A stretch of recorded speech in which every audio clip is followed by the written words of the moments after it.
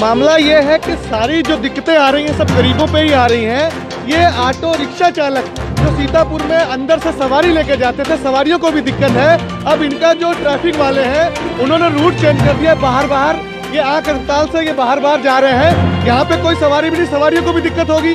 जब सवारी नहीं मिलेगी तो कहाँ ये रिक्शा चलाएँगे? वैसे ही सब भूखे मर रहे हैं। तो इनका अंदर से रूट किस वजह से बंद कर दिया है? लेके जा रहे हैं शहर के अंदर, जो इनको अंदर नहीं जाने दिया जा रहा। और ये सब रिक्शा वालों ने हड़ताल कर दी है। ई रिक्शा वालों ने, और ये सब बहुत परेशान है। इनको ट्रैफ़िक पुलिस इतना परेशान कर रही है, बेमतलब इनके चालान हो रहे हैं। डंडों से इनको मारा जाता है। यहाँ पे इनकी यूनियन नहीं थी, अब इनकी यूनियन भी बनेगी, और इनकी सारी बातें मानी जाएगी। तब ये इनके रिक्शे चलेंगे ये बेचारे। सब रिक्शे अपने किनारे खड़े कर दिए हैं। सवारियाँ भी परेशान है, शहर परेशान है। लेकिन आला अधिकारी कोई इनकी बात सुनने के लिए तैयार नहीं, क्योंकि सब ये सिंगल सिंगल हैं, गरीब लोग हैं, इनको डंडों से मार के भगा दिया जाता है। लालबाग बस अड्डे से इनको रिक्शे पे सवारी लोड नहीं करने दिया जा रहा, चुप्पी होके इनको नहीं जाने दिया जा रहा। इस इसलिए ये सब रिक्शे वालों ने अब ये तय किया है कि सब रिक्शे वाले हड़ताल करेंगे।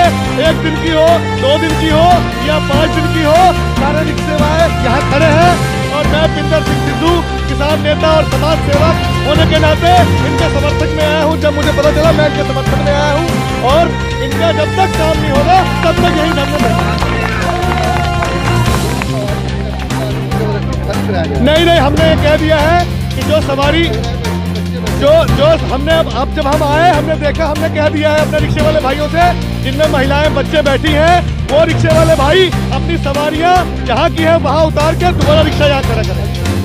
नहीं नहीं वो असल में जो नए लड़के हो सकता है ऐसे कोई हो हमारे रिक्शे का कोई भी बंदा कान खोल के सुन लो कोई किसी को शब्द भाषा का प्रयोग नहीं करेगा हाथ जोड़ के रिक्शे खड़े करवाओ और अपना रूट आज हम सिटी मजिस्ट्रेट से बनवाएँगे। जी। आपका नाम? पिंदर सिंह सिद्धू।